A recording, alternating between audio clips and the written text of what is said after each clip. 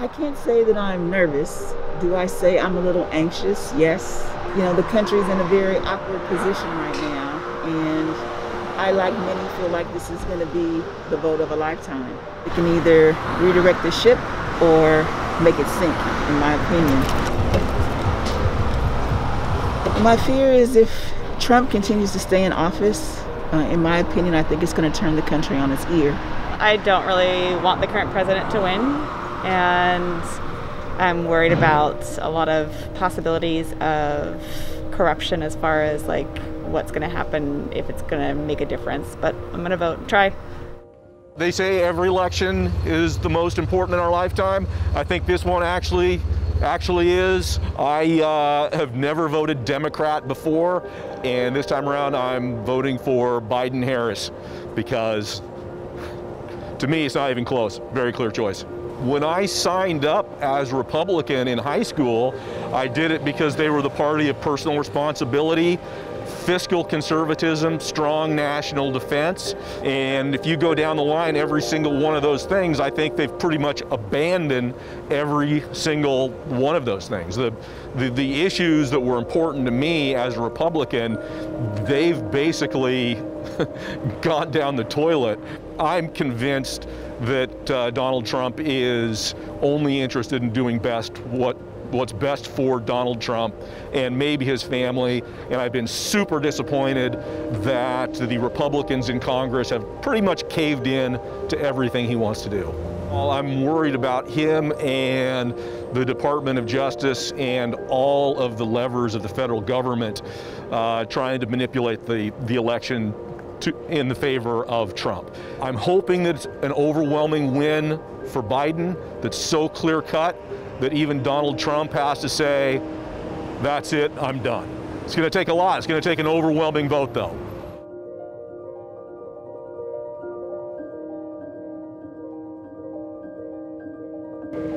I'm voting in Oregon City, and I feel great about it. I'm hopeful that the person I voted for is going to win. I supported President Trump.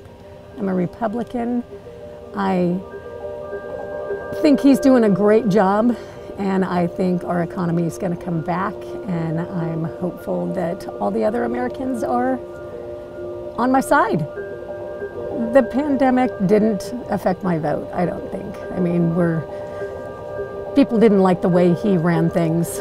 I'm okay with how he ran things. I just, it's here and it happens that way. I'm a religious person, I'm a Christian, and I think God's got a plan for everything. And the pandemic is has been very bad. I think masks are a great thing, but I don't think that really made me think about who I was choosing. Don't forget to sign your envelope. Everybody needs to vote. Feeling a little bit of both, nervous and excited. Um, you just never know what's going to happen. So I'm a little, I'm a little on the edge this year. I would like to see the measure for the preschool, free preschool for all.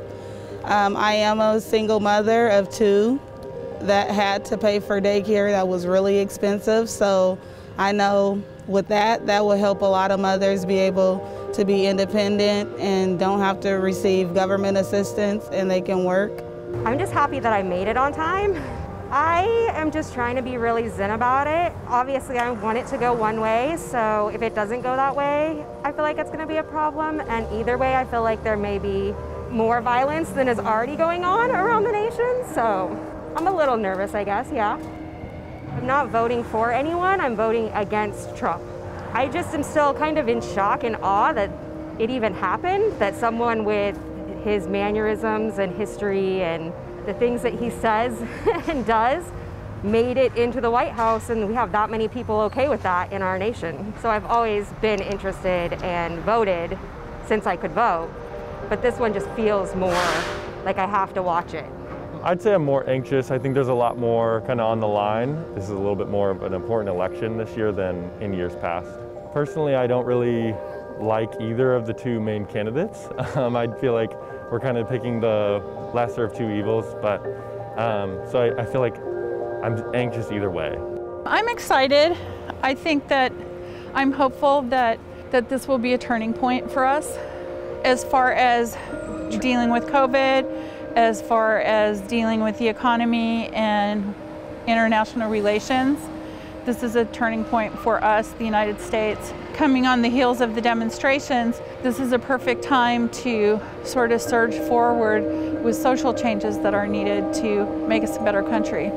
Last election, I just had early, early on the sinking feeling, and I don't, I, I don't think that Trump will be elected this year. I think that Biden will be. First and foremost, I'm just excited that this whole election season is kind of ending because it's been pretty, pretty crazy, and there's been a lot of animosity towards both sides. And I'm just kind of excited for this all to be put to bed, and we can all work together to make the world a better place. I don't know if people will react uh, civilly if they don't know if their side's winning, and um, on both sides. I'm not. I'm not saying one side versus the other, but um, ho- I'm hoping it can be a clear-cut winner. But um, if it's not, my advice to everyone is stay calm and just let it let it work itself out because violence isn't ever the answer. I'm feeling a little nervous. Um, I think I just have this like idea that regardless of what we all put in there, um, he who must not be named is still gonna just get in the seat again, and then it's just gonna be like a crazy uprising. Which maybe it needs to happen that way, but um, I don't feel assured that it's gonna go like smoothly. Just with all the things that have gone down that seem really shady in Congress and you know all the like the the judge and all of that like I don't feel like I feel like we're just to be outnumbered by like the sketchiness of what they can get away with and it doesn't seem like there's any repercussions. So it's almost like we're all just like doing our best and then there's still this like giant crevasse of just like you just gotta like see what is gonna happen but hopefully better. I feel excited because I just voted, so it's it's a good feeling to take that opportunity. Um, so the excite that's the excitement part. The nervousness will come with the results. I would say healthcare and women's rights is probably the most important to me. And yeah, I think that's what really sticks out to me. That's what I'm personally worried about. I knew I didn't want Trump for president four years ago. I, all of the reasons I was concerned about him being president have been very thoroughly exercised. I mean, he's done everything that I was worried he would do, and then some. I'm just really concerned with the general state, with um, the racial, the racial inflammation that's happening. I absolutely don't think that this is a president that's been doing anything to kind of ease that or help that. It's been more than anything he's been infl- he's been inflaming it. He's been making it more unsafe for people of color. Um, and then the, the more recent is